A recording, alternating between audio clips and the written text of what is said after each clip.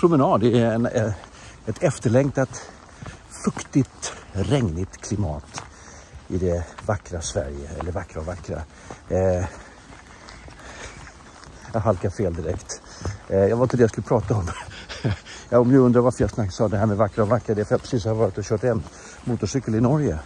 Och det märkliga är att så fort man kommer över gränsen där så, så, så märker man direkt, wow, vad det är vackert här. Alltså det är så vackert. Och då tänker jag så här, men det kan inte vara naturen. Det är inte naturen som har skapat gränsen mellan Sverige och Norge. Nej, det är vi människor. Eh, exakt.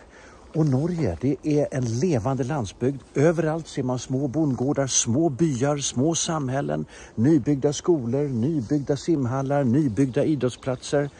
Eh, och bla bla bla och du vet kor och man åker över en färist på stora riksvägar och så är det får plötsligt. Nu ligger de lite snällt i vägkanten och liksom, men det finns en varning här, det finns får här inne, okej. Okay. Och kor i nästan varannan hage. Och vackert och man tar hand om landet. Det är så vackert, det är som att åka genom ett sagolandskap. Man tänker, det här är inte möjligt. Men det är vårt närmaste grannland. Och sen när man åker tillbaka in i Sverige så är det som att känna, jaha, oj, shit alltså. För det första dör all mobiltäckning. Det fanns mobiltäckning i varenda liten håla. Eh, och vi var långt ut norr om Trondheim, ut i obygden och ut på öarna och körde motorcykel, tio stycken. Och att åka in i Sverige efter att ha varit i Norge. Alltså det är som att komma till en öststat i förfall där uppe på den sidan. Det är hemskt. Det är stendött. Det är avfolkningsbygd. Det står hela, nästan hela byar för fäfot och liksom bara förfaller. Och förfallna hus kunde man hitta också ett och annat i, i, i Norge men de, de liksom stack ju inte fram. Här var det liksom ett samhälle, ett land i förfall. om man utgick från den landsbygd som vi åkte igenom. Och vi åkte ganska långt. Eh, från Saxnäs ner till kusten och vidare ner till Stockholm. Men där uppe på landsbygden, där var det min själ. Eh, Ja, det, är, det är hemskt tragiskt. Och då säger någon så här, ja men det handlar ju om att de har ju fått olja, så norrmännen kan ju, de har ju oljan. Fel. Fel.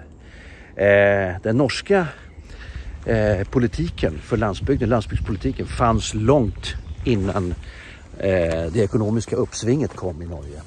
Och det handlar lite grann om att Sverige är ett fredsskadat folk. Vi har haft fred. Norge har inte haft fred. Tyskarna brände ner i princip everything.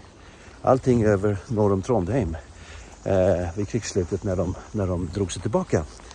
Eh, vilket gjorde att man har fattat att nej, men vi, vi, vi ska ta hand om det här. Och man har en devis, nämligen hela landet ska leva. Det här handlar ju bland annat om att norska kommuner, ja de har kommuner också, men de har lite större självbestämmande i Norge.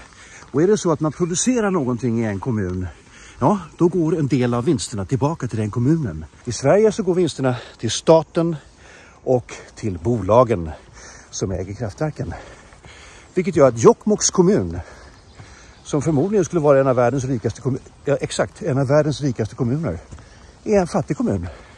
Därför staten tar alla pengar och sen delar ut dem. Och det här bidragsutdelandet, det finns någonting oetiskt och människofientligt i det. Ja, här får du av mig. Ja, får du ett bidrag av mig. Man får lite känsla av Göran Persson, ful gubbe över det där. Eh, man har också mycket medveten eh, politik. Där man till exempel, om det är så att du flyttar ut på landsbygden i Norge, ja då skriver man av studielånen. De försvinner, bam boom. Och ju längre ut på landsbygden du flyttar i Norge, ju mindre blir arbetsgivaravgifterna så det är mycket lättare att starta småföretag och leva på landsbygden i Norge än i Sverige. Och det intressanta med det här, eh, det är ju att det råder politisk konsensus i Norge om detta. Och det är inga konstigheter. Det är självklart, hela landet ska leva. Vad gör vi i Sverige när vi ska försöka få vårt land att liksom sprattla till på landsbygden? Ja, ja vi ska flytta eh, statliga verk, några stycken. Bra där, bra där. Alltså på riktigt. Egentligen skulle svenska politiker bara kunna sätta sig ner på arslet, titta på vad man gör i Norge, titta på vad man gör i Finland och kopiera.